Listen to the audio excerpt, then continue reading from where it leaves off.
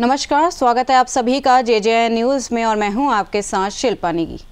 अगर आपके पास भी राशन कार्ड है और आप सरकार से इसके ज़रिए फ्री राशन का फ़ायदा उठाते हैं तो ये खबर आपके लिए है। दरअसल, भारत में जो भी व्यक्ति गरीबी रेखा से नीचे जीवन यापन करता है, उन्हें भारत खाद्य सुरक्षा योजना के तहत मामूली शुल्क के आधार पर अनाज उपलब्ध कराया जाता है।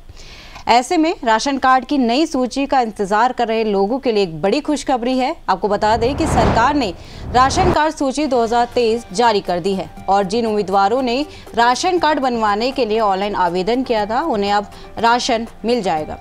आपको बता दें कि भारतीय खाद्य सुरक्षा समिति के अंतर्गत उन सभी लोगों की पहचान करने के लिए जो गरीबी रेखा से नीचे आते हैं, उनके लिए राशन कार्ड नाम का एक दस्तावेज़ बनाया जाता है। इस राशन कार्ड के तहत वे गेहूँ, चावल, चीनी और मिट्टी का तेल खरीद सकते हैं और अपने परिवार का भरण पोषण कर सकते हैं।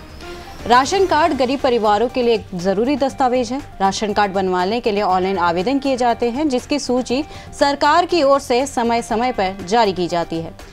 चलिए अब आपको बताते हैं राशन कार्ड बनाने के लिए किन बातों का आपको ध्यान रखना चाहिए।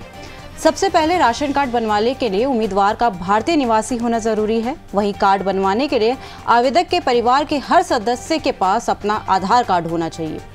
वहीं आवेदक के पास दो एकड़ से अधिक भूमि नहीं होनी चाहिए। आवेदक कर्ता का अपना बैंक खाता होना चाहिए और परिवार के सदस्यों को किसी भी प्रकार की सरकारी नौकरी का लाभ नहीं होना चाहिए।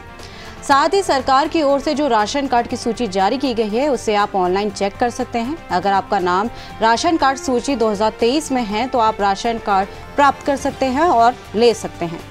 अब बात करते हैं राशन कार्ड की लिस्ट में आप अपना नाम कैसे चेक कर सकते हैं। उसके लिए सबसे पहले आपको उसकी ऑफिशियल वेबसाइट पर जाना होगा। वेबसाइट पर जाने के बाद आपके सामने वेबसाइट का होम पेज खुल जाएगा।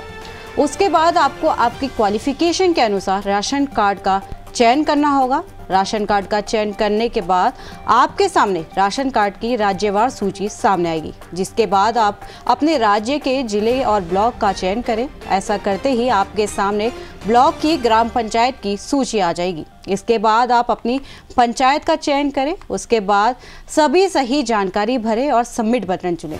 उसके बाद आपके सामने राशन कार्ड 2023 की सूची सामने आएगी, जिसमें आप अपना नाम देख सकते हैं और सूची डाउनलोड भी कर सकते हैं। तो फ़िलहाल इस खबर में इतना ही। बाकी की तमाम खबरों के लिए आप बने रहे जे न्यूज़ के साथ। धन्यवाद।